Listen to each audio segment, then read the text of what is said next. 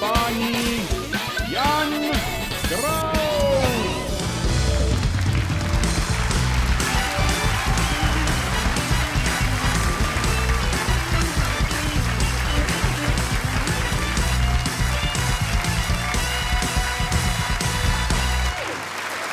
večer. Děkuji uctivě, dobrý večer. Děkuji. Děkuji uctivě, dobrý večer.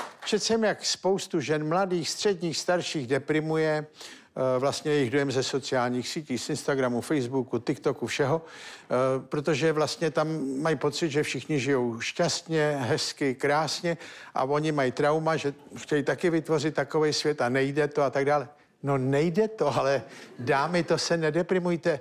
Nesmíte věřit reklamě jako záznamu reálného světa. Já si to pamatuju i na starý reklamě, vždycky, když byla ta reklama z rodiny, třeba peřiny, oni měli takový bledě modrý a tak to jako letělo tím vzduchem, čistý okna, radostný děti, táta s mámou výborně naladěný. A já na to vždycky koukal, taky jsem jako mladý přemýšlel, tohle je normální rodina. Tak to já žiju v úplných katakombách teda. Už jenom ta peřina, jak byla, já se probudil ráno mokrý, spocený, že jo, smradu plná ložnice a tam hábáda.